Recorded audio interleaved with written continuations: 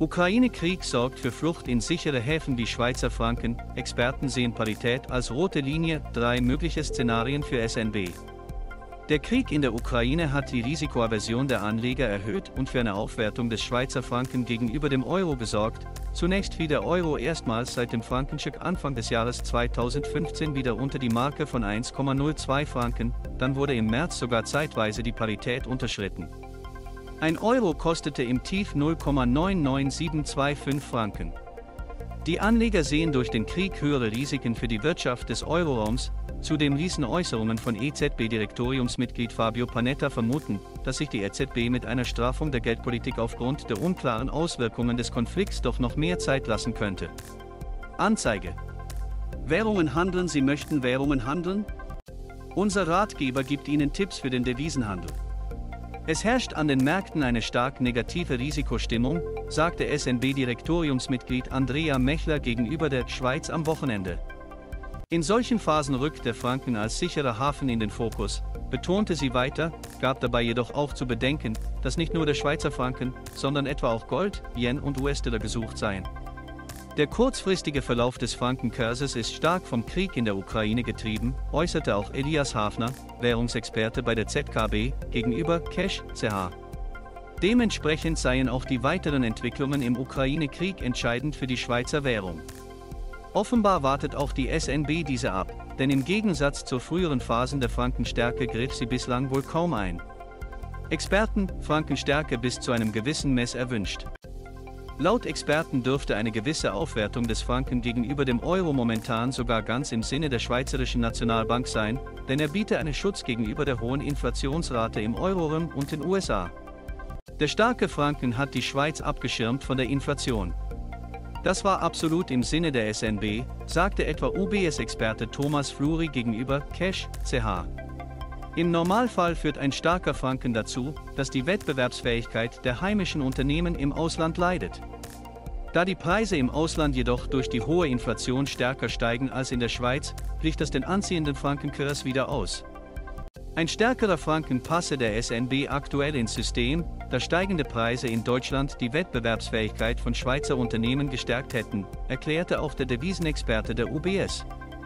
Aufgrund der hohen Inflation im Ausland ist der faire Wert des Frankens deutlich nach oben gegangen, sagte auch ZKB-Experte Elias Hafner laut Cash CH.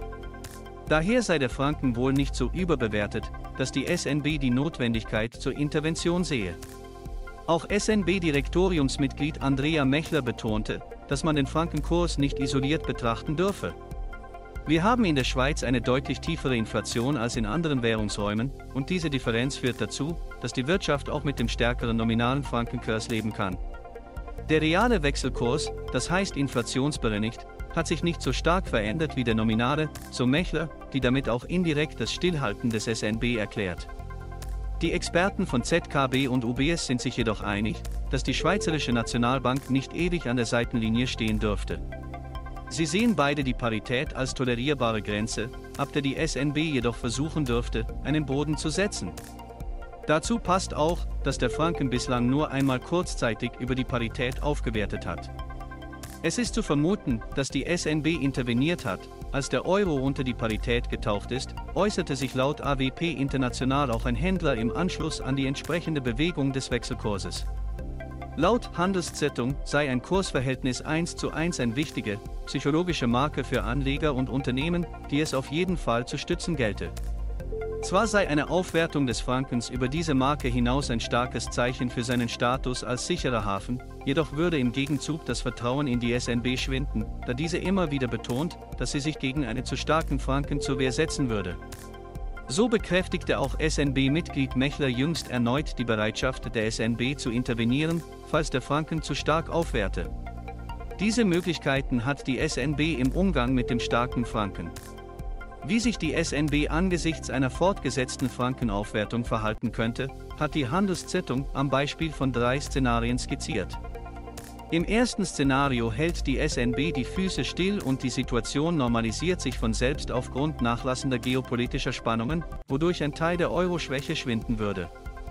Voraussetzung dafür dürfte aber wohl ein schnelles Ende des Ukraine-Kriegs sein, wonach es momentan eher nicht aussieht. In einem weiteren Szenario würde die SNB laut Handelszeitung eine schrittweise Aufwertung des Frankens erlauben und wichtige strategische Linien, etwa die Parität, zumindest zeitweise verteidigen, damit Unternehmen etwas mehr Zeit hätten, sich an eine stärkere Währung zu gewöhnen.